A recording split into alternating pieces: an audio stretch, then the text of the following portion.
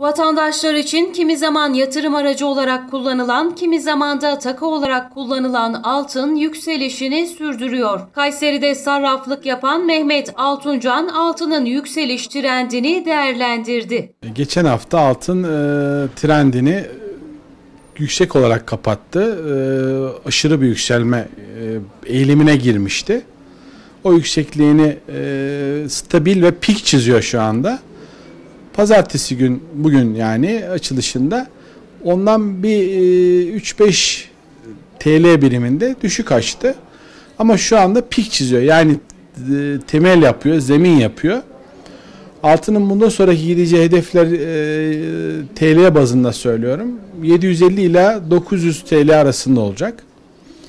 Şimdi e, insanların bu pik çizdiği süreç içerisinde alım fırsatı veriyor.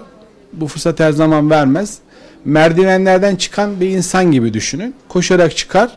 Merdiven sahanlığı denilen yerde bir soluk alır, dinlenir, tekrar aynı tempoda çıkışa devam eder.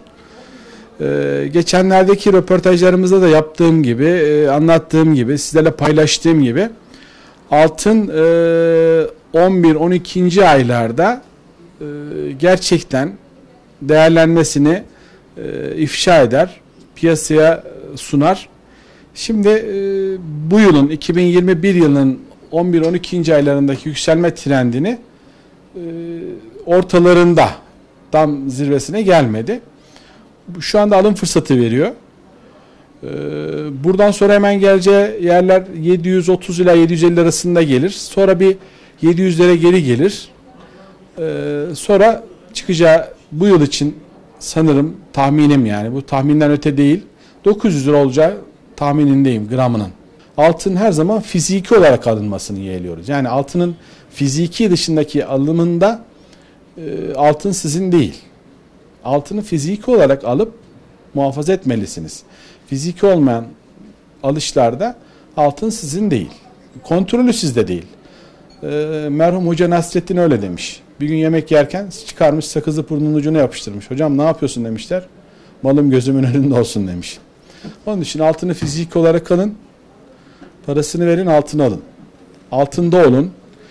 Ee, diğer e, emtia cinsler olan dövizlerde de kağıtta bulup durmayın. E, çünkü o dövizler de e, dünyada çoğaltılması çok kolay olan şeyler. Ama altın değerli bir madendir. Ancak as olarak kendinden varlığı vardır. Çoğaltılması, kopya edilmesi, efendim türevinin benzetilmesi mümkün değildir.